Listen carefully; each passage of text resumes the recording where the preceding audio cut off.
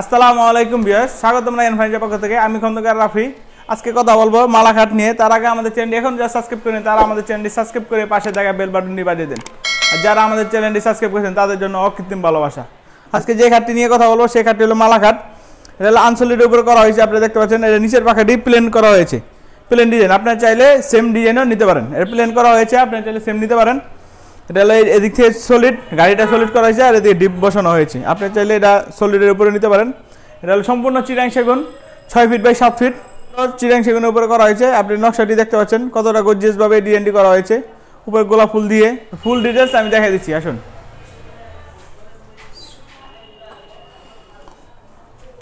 উপরে নকশাটি দেখতে পাচ্ছেন, উপরে গোলাপ দিয়ে কত সুন্দরভাবে নকশা করা হয়েছে।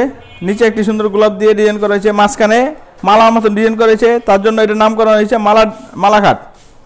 ফুল এই সাইডের নকশাটি দেখতে পাচ্ছেন। কতটা নিখুঁতভাবে আমাদের দক্ষ মিস্ত্রি নকশা করা হয়েছে। এটা হলো হ্যান্ড পালিশ করা হয়েছে, আপনি আমাদের আমাদের বানিশের কোয়ালিটি দেখতে পাচ্ছেন। কত গ্লেসি হয়েছে। আপনি যে রেগুলার লেকার বানিশ করেও নিতে পারেন। নিচের ডিজাইনটি দেখতে পাচ্ছেন। একটি গোলাপ দেওয়া হয়েছে।